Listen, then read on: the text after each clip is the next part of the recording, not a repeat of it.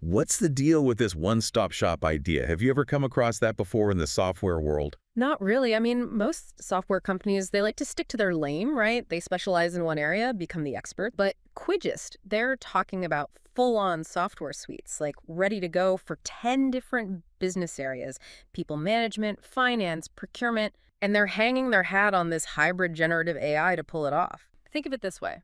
Remember all the buzz about neural networks? Yeah, like the AI that learns, kind of like our brains, right? Exactly.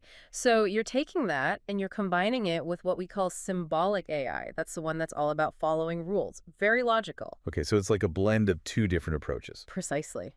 Quidgest claims this hybrid approach. It's what lets them automate software development in a way that's, well, frankly, way faster and more efficient than traditional methods. And the cool part is, it can supposedly adapt to whatever crazy, unique needs different parts of a business might have. Okay. I'm starting to see how that could be a game changer. Mm. But let's get real for a second. Yeah. How does all this AI wizardry translate into, you know, actual benefits for a business? Right. Is it just about speed or is there more to it? Speed's great, don't get me wrong. But Quidgest is pushing a bigger picture here.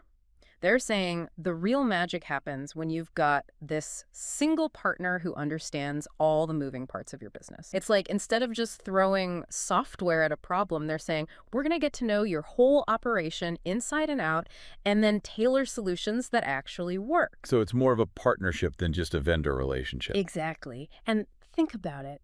Having all your data from every department all in one oh, place. Oh man, the amount of analysis you could do. Right. Talk about data-driven decisions, sales, marketing, customer service, all talking to each other. That's powerful stuff.